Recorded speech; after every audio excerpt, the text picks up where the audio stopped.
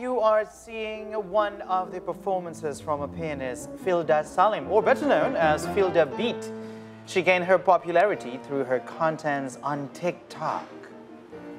Yes, and Filda Beat is known for her outstanding skills in playing classical music, as you can see in the video, including Beethoven's Piano Sonata number 1031, Presto the second, and Large E Mesto. Now, she shows off her talent with the piano on her TikTok account at Filda Beat. Check her out.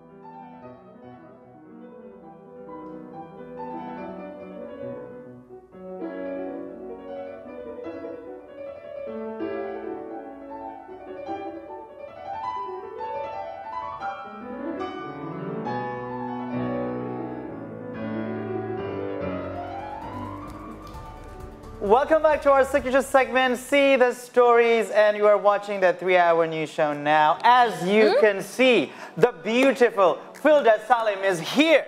Filda, thank you so much. I want to, you know, Standing standing ovation. ovation for that, really. wow, thank you for coming to the studio. Yes, Thank you for having me. So it was too bad because we were so looking forward for you to uh, play a piece, but you know it's a blessing in disguise because if, if the piano were here, they were going to make me to play with it. She's the star of the show, not me. No, but you can't play piano too. well, no, not at your level, not anywhere near your level. Um, but can you tell us which song you played or composition you played in that particular video? Do you remember? Um, yes, so that was Beethoven Sonata Opus um, number 10, Opus 31. That's one of the repertoire that I played for my graduation recital in Boston. So that Ah. was actually two years ago during the pandemic era. I went back to Boston just for that graduation recital. But I actually graduated, um, I think, six months before that. Oh, six months before that. So Yes. thanks to the pandemic, everything was like backtracked. yes, Wow. kind of. Wow. Well, after um, that, and also now you are in Indonesia, you've released uh, music called Mimpi. Yes. Now, that would be dreams in English. Could you tell more about that? So actually, I came with Dream because the song is quite dreamy. If you've heard the song, basic, um, it's actually up on Spotify if you want to listen to the full version with piano and orchestra. And not only that, um, that song tells about my journey being a pianist. Actually, mm-hmm. so I want people to relate how I reach my mimpi, how my how I reach my dream to be a classical pianist. Mm-hmm. Yeah, and if you listen to the song, you can kind of feel like the ups and downs, the butterflies, Yeah. the funny part, yeah, a lot of things. So um, I, I understand that we've spoken about this before, and I have huge respect for you because I know the stamina that it takes to literally study classical music, um, any kind of instrument. I know the stamina it takes and the effort and the commitment that you have for yourself. Uh, can you tell us your journey? You studied in Berklee, right? When did you start playing piano, and why the piano classic, and why classically? A lot of people go for contemporary mm-hmm. uh, Right. composition, mm-hmm. but you chose classical music. I started playing the piano at 4 mm-hmm. and then I just feel like classic is just classy. Yeah. Like the music never dies. Doesn't have a trend, doesn't follow anything. There's no specific rule. Doesn't follow a trend basically. So I can always like the song. The song that I used to listen when I was young until now, Yeah. it's always the same. Yep, yep. So that's just why I like classical music. Uh, But now um, that you wrote uh, your music, and uh, what or who inspired you to, to write your music? a lot of people actually but um, that song mimpi I, I actually funny story i wrote that song after i graduated um, my college right and then it was during the pandemic era and then i released that song And then I wanted to be like Disney. Ah, Like- okay.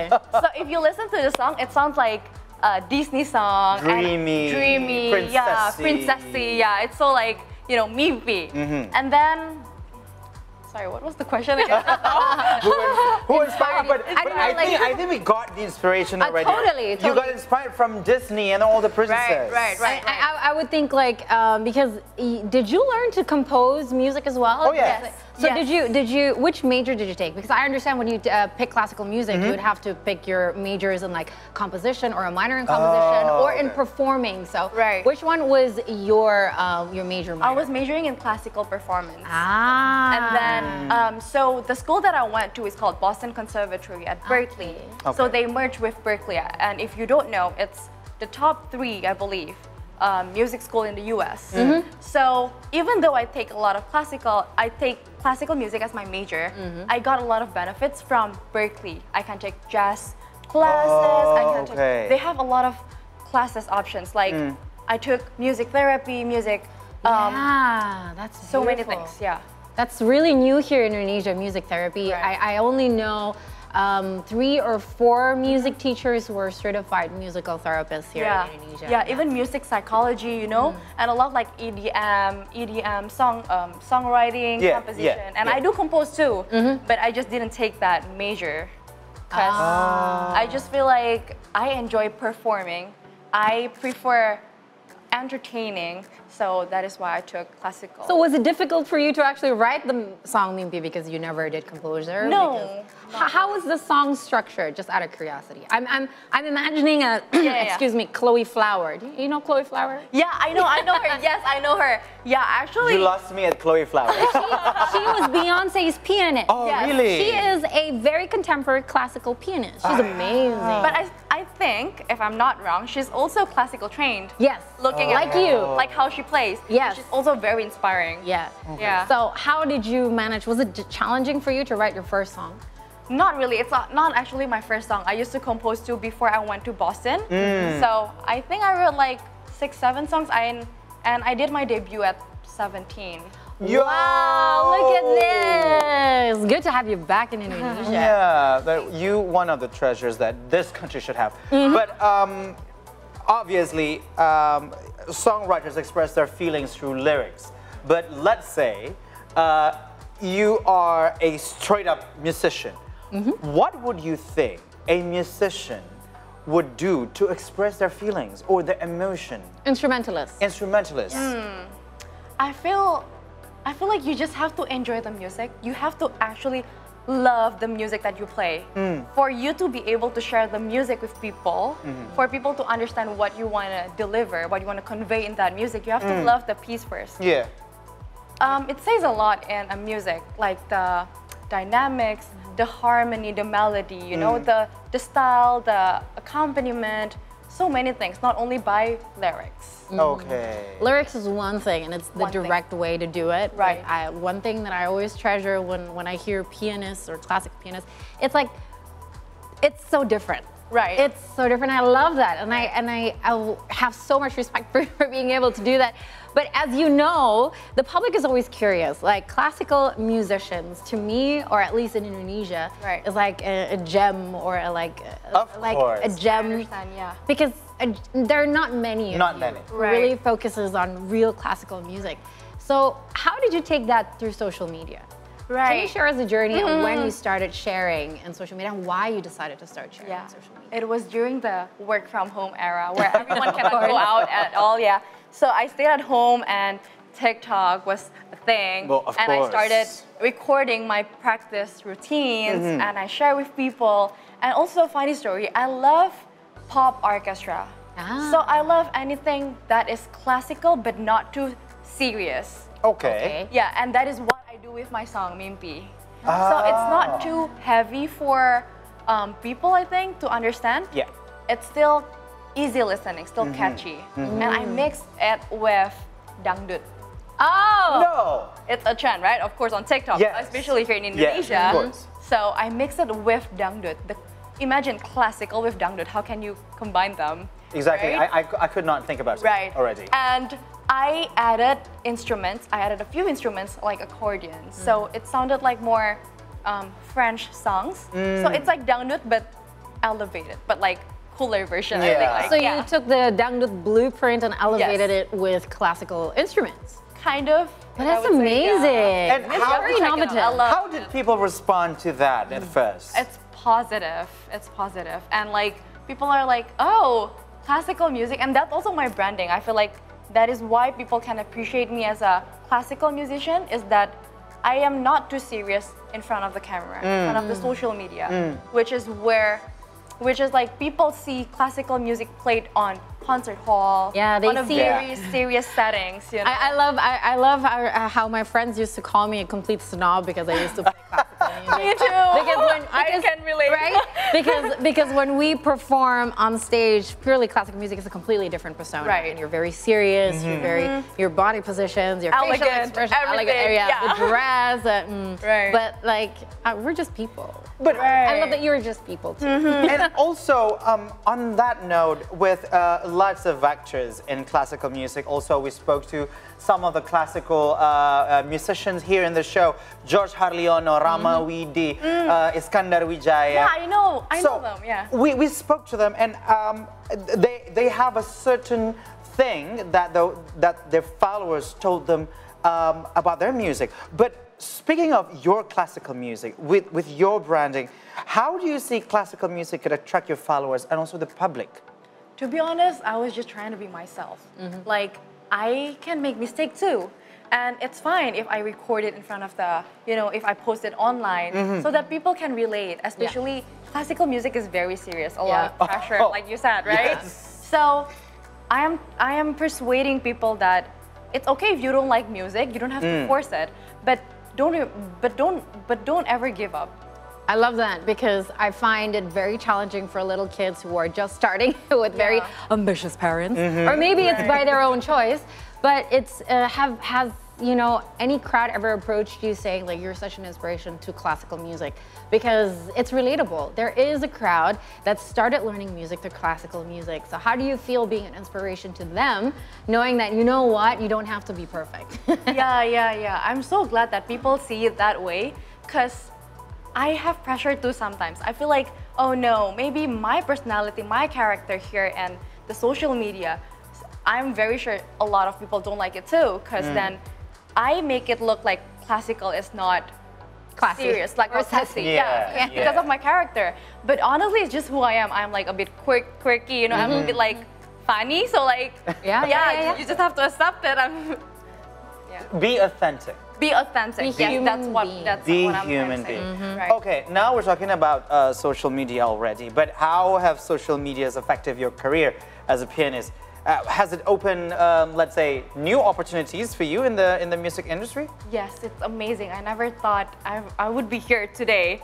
um, so if you don't know, my Instagram name is Feel the Beat. Yes. Yes, because my name is Filda, and Yeah. so you can feel the beat. Feel the beat. I love that. right. And aside from uh, making content, making videos online, I also teach as a teacher. Oh. I teach piano. Here in Jakarta or Here in Jakarta, yes. Okay, I see. So it's called Feel the Beat Studio. Basically, I have a few teachers teaching too. They're Mm. helping me.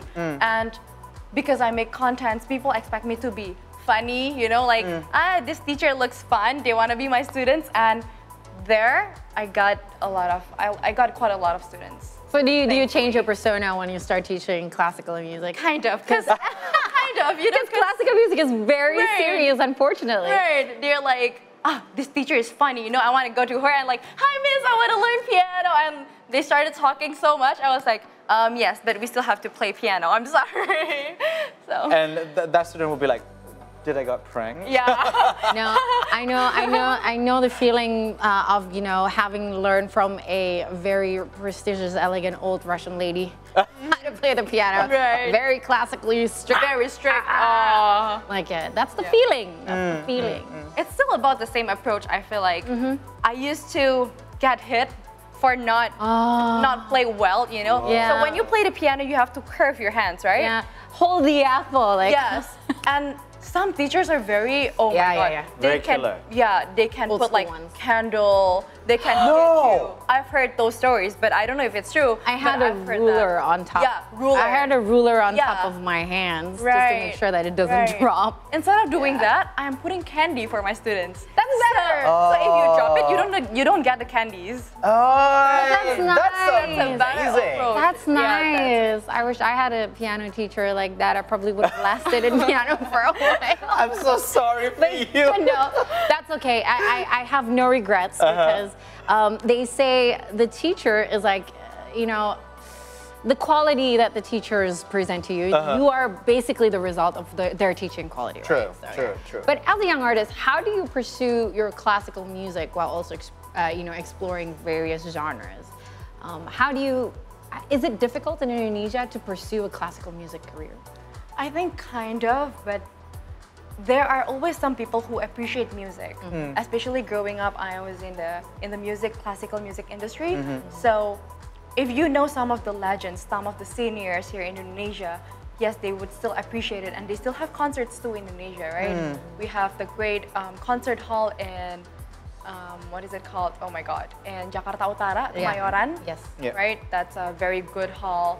We have a few good halls here in Jakarta too. And all the uh, with with good acoustic and stuff. Yes, good acoustics, and we have great conductors, Rebecca Tong, we have Mm. Iswargia, all the legends, you know. Oh. Okay, now help me to understand because I don't learn classical music, or, or might as well uh, uh, people uh, who are watching us at the moment. Um, I'm more familiar with food, let's say. Yes. So the way for you to appreciate food is actually through the texture, through the layers of flavors, and also the hard labor uh, behind uh, the, the process of the food. And how do you actually appreciate uh, uh, classical music? I usually do some research, like um, the story behind the songs, or how I interpret the song. That makes it special to me, because classical music can be played by a lot of people, and can be played by a lot of people. And how do you, mm, how do you stand out a lot? Uh, how do you stand out among all those great pianists, right? So I always have a special heart, a special songs for me, how I interpret the songs. So, what are your favorite classical, or let's say in the classical era, your favorite uh, composers? That's always the hardest question. Like to pick three or four. You can you can pick one of each era, like one of Baroque, one of Okay. the classical, one of the Romantics. You, you can. For Baroque, of course, there isn't that many options. Um, but Bach, I like Bach. I love Bach. Yes. Um, for classical, I prefer Mozart, but I also love Beethoven. I cannot pick. Yeah, Beethoven is slightly more progressive than yes, Mozart. yes. Okay. Mozart is when I'm. Depends on my mood, honestly. When I'm feeling happy, I would be listening to Mozart. But when I'm feeling like moody, then I would feel I would listen to Beethoven. Okay. But Chopin is always my go-to composer. I love him. Yeah, he's very difficult. Rachmaninoff, Ravel, um, Liszt. Ah. Yeah, I love romantic pieces. Oh, beautiful. So, could you enlighten us about your upcoming projects, perhaps, and um, how many are and how many instruments you've per- perhaps started learning everything before you focused on purely piano? I tried a lot, a couple instruments. I tried flute. I always felt dizzy playing flute. It is only made for special people. flute. I played violin. Um, I did a bit of cello, but not really. If I don't know if that counts. Um, I tried guitar, and that hurts my hands. Okay. And then I played organ. Yeah. The church organ. Uh, I tried that one. Uh, I used to play in the church, Yeah. and I played electone, where you can, Uh, you can electone. have a lot of uh, sounds. Yeah. And then I did ballet and and vocal and voice. Oh. So Those are a lot. That's a, a lot. So music was always in my life. Yeah, That's since four years old. Yeah, four years old. And also, your upcoming project. You've been in the industry, or, or you- you've touched piano since you uh, you were four, and now what's uh, coming from you? Um, I'm actually focusing on my teaching. I'm trying to expand it, and I actually just had my concert last Sunday. Last Sunday. Last Sunday, yeah. Congratulations. Congratulations. Yeah, I, yeah. with my students, I played my song. I played a couple of um, a few classical pieces, and I had collaborations with harp and singers. Ah, that's beautiful. Oh, that would be hard that. thing I love to that. do. I mean, I, I'm telling you, to just to give the viewers a little bit of context, we have spoken about how difficult classical music is, mm-hmm. and just saying, and we had Rama Widi coming here. Yeah. right recently, and he also talked about his journey on actually getting the audition to get into the conservatory in Vienna, which was also very complicated. So my hats goes out to your respect and all the success. Yes, Thank of So, course. I, I, you know, it's so great to see you make it this far. And I know a lot of people uh, would rather, you know, stop in between. But you know what? With no this, is, regrets. this is her first time here in the studio. Exactly. Why don't we give her something to remember? oh, yeah. Like only we can, right? Like only we can, yes. Let's play a game. How about that? Because Oh, it's weekend sure. and, and the three hour news show, we should play a game. yes. Okay, sure. So there will be some emojis if you would like to turn yourself, your body around to facing to the uh, plasma. So there will be emojis displayed in the plasma where a combination of these emojis will describe a musician, be it a singer or a band. Now all you have to do is guess who it is. Ready, both of you? Oh Ready? So you but will but be- not this one, not this So one. Are you guys have- helping me too? Wait, we have a bell. we have, we have a bell. here. You, Oh, can, you can ring the bell. So you will be playing against Hans.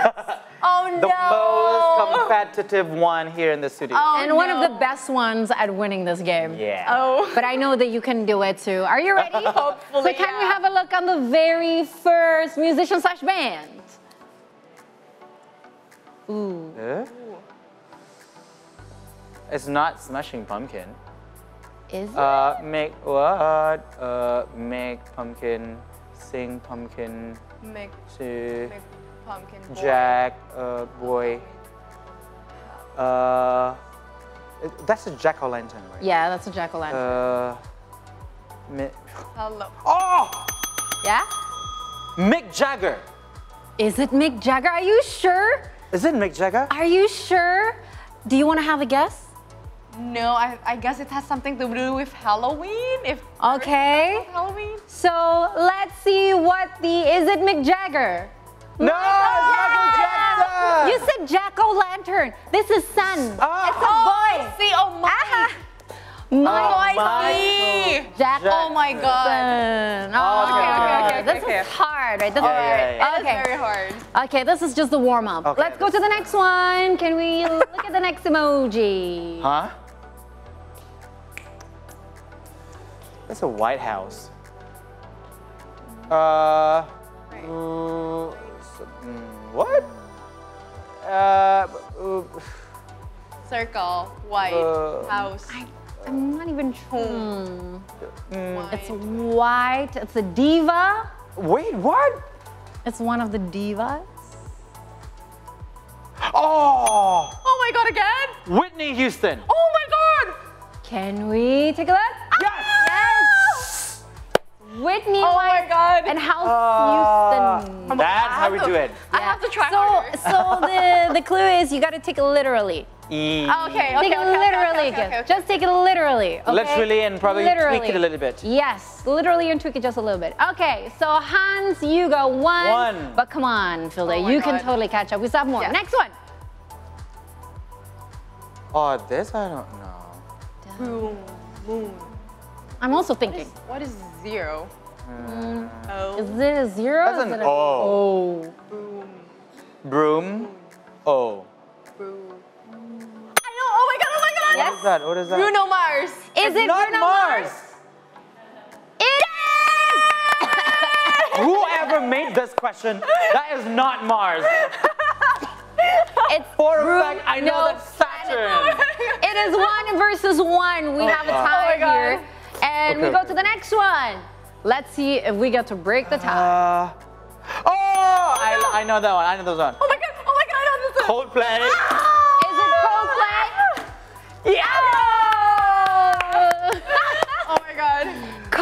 Coldplay. We have last one here. So will we have a must- tie, or will Hans Uh, continue to rule the game? okay, okay, Let's okay, take a look. okay. I don't See want the to next give up one. my reign. Last one. What? Oh, this I don't know. Ah. oh. Uh, I think I. That's an iPhone. Phone lion. Phone. Phone. Huh? What is that? Phone. Uh, pho- mm, is that is that a wave or what? Oh, right. Uh, Wait. just a wave. That looks like a wave. Lion, lion? Is that lion? is that line? Phone. Phone line. It is. Huh? Phone line lion. lion, lion. Uh, Wave lion. Mm. no, it's not. Mm. Phone. What? This is tricky. It's another diva. Huh? Huh? Yeah, Oh, it's another diva. How many divas do you know? You can get them all. a lot. Whitney Houston, Celine Dion, Beyonce. Uh, wh- who? Yeah, It is Celine Dion. No, it's not. it is. Is it Celine? Cell Sal, The lion. lion. Dion, Dion is lion. How could I give the answer to We you? have time. Amazing. I love this. I love that we end up with ties. Yeah. Fiona, thank you so much for joining us in the Oh. studio. All the success you to your for- Thank you so much. career. Thank you. Thank you. Thank you. And thank you for keeping classical music alive in your Yes. I always appreciate that. Thank you so much. And also for those of you who are just uh, joining us, you missed a lot because this lady over here have shared a lot of her journey, her classical music journey. But um, where can we find you on your socials? So you can find me on Instagram, Feel the Beat, and also on TikTok. I also have YouTube too. Okay, so it's F I L D A B E A T. Beat beat. Perfect. Okay, feel the beat. We're set for another break. We'll return to play a game again with a special prize only on our signature segment. See those stories. Stay tuned.